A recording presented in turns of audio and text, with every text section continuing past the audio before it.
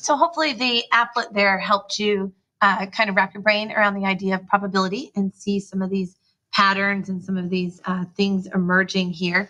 So let's take a look. Uh, let's take a little bit more of a deeper look here at probability then. So probability is empirical. So by that we mean that it's based on observation, not my theoretical calculations.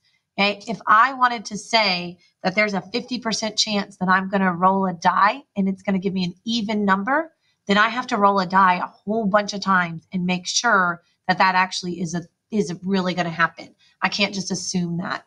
Okay? There's also what we call the law of large numbers, where my that's that again that idea of this very large um, series of repetitions, and that's how we get that probability pattern confirmed. Okay? I know that the chance is 50% that I'm going to roll an even number on this die is because a die was rolled a whole bunch of times. Okay, now that could have been done um, via simulation. You don't have to physically roll the die. You could have run a computer program for it, okay? but it was rolled a whole bunch of times. Okay? And so that's how we're able to confirm our probability there. Okay, so let's look at some examples here. So according to the book of odds website, the probability that a randomly selected U.S. adult usually eats breakfast is 0.61. So part A, explain what probability 0.61 means in this setting. Well, in this setting, there's my probability number, right? It's between zero and one. Okay. And what this means, again, using our context, because we're in stats and we have to always use context, is that if I take a large sample of US adults, okay, so again, we're going in context here. They have to be US adults, okay, and it needs to be a pretty large sample for me to be able to confirm probability. So if I take a large sample of US adults, the probability that they usually eat breakfast is 61% that they will say, Yes, I eat breakfast. So, part B there, why doesn't this probability say that if 100 US adults are chosen at random, exactly 61 of them usually eat breakfast? Okay.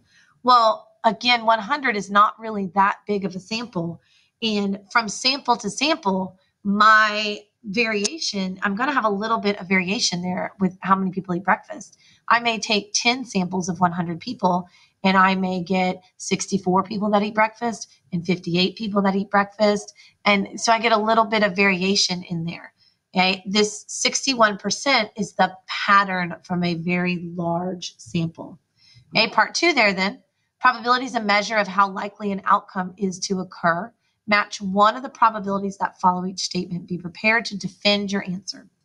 Okay, so part A there tells me that the outcome is impossible. It can never occur. Well, if the outcome is impossible and can never occur, that means it's zero times going to happen. Okay, so zero would be my best probability for that one there. Okay, uh, part B, the outcome is certain. It will occur on every trial.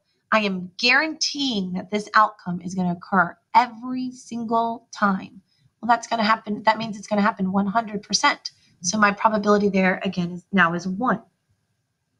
Part C says the outcome is very unlikely, but it will occur once in a while in a long sequence of trials.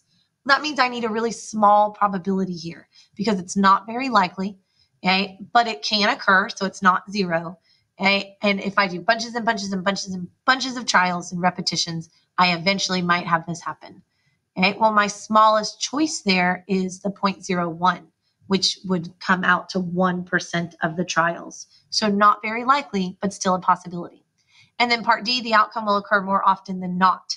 Okay? Well, I want the outcome to occur more often than not, which means I need it to occur more than half the time Okay, so I've got two options there for more than half the time. It's the 0.6 and the 0.99.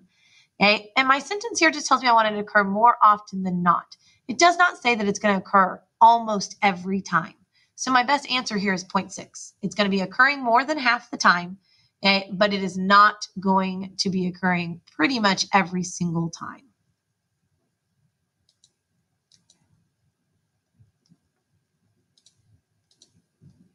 Okay, so let's talk a little bit about randomness then. So, streaks and probability. We know probability is predictable over time in the long run. But what about when we're really, you know, in the short run? We've got a really just a couple of uh, series happening, just a, a few tries. Is this is the idea of probability really going to still hold up here. So let's take a look at an example here. So flipping coins. Toss a coin six times and record heads or tails on each toss. Which of the following outcomes is more probable? That I get heads, tails, heads, tails, tails, heads, or that I get tails, tails, tails, heads, heads, heads? Technically, my answer is that both outcomes are equally likely. Every time I flip that coin, I am technically, every time I flip that coin, I have a 50 50 shot of getting a heads or tail. The second coin flip, like, so this second coin flip right here where I got tails, okay, the first one did not influence the second one. Over here where I got three tails in a row, just because I got a tails here does not alter my ability to get a tails or a heads in the next coin flip. Each coin flip is independent of the one before. They do not change based on the one that happened before. So I've got a 50 50 chance each of each outcome each time. Okay. The second one, um, it says there that we think it's the second because it looks random, but it's not the random of statistics. Um, I disagree with that statement. The second one to me looks very not random because they're in order. The first one, to me, glancing at it, looks more probable. But again, they really both are because each one of those coins flips is independent. So let's look at our law of what looks at what this says the law of averages. Belief in this phony law of averages can lead to serious consequences. A few years ago, an advice columnist published a letter from a distraught mother of eight girls. She and her husband had planned to visit their family to four to limit their family to four children, but they wanted to have at least one boy. When the first four children were all girls, they tried again and again and again. After seven straight girls, even her doctor had assured her that the law of averages was in our favor 100 to 1. Unfortunately for this couple, having children is like tossing coins. Eight girls in a row is highly unlikely. But once seven girls have been born, it's not at all unlikely that the next child will be a girl. And it was. Again, this is like they said, it's the same as flipping the coins. There is no law of averages here. Just because I've flipped a whole bunch of heads does not mean I should get a tails now. Just because they had seven girls does not mean now that they should get a boy. Okay? every baby is a separate brand new event. So the likelihood for every each of those babies is a 50-50 shot. Okay? So that that law of averages thing doesn't exist. Okay, so let's look at this example here. Sorry that the answers are already up there for you. Okay, liar, liar. Sometimes people use a lie detector, polygraph, to help determine if the suspect is telling the truth. Okay, a, a lie detector test isn't foolproof. Sometimes it gives those false positives. Okay. Other times it gives them a false negative. The probability for this particular brand of polygraph machine is a false positive of 0.08. Okay. Interpret this probability as a long run relative frequency.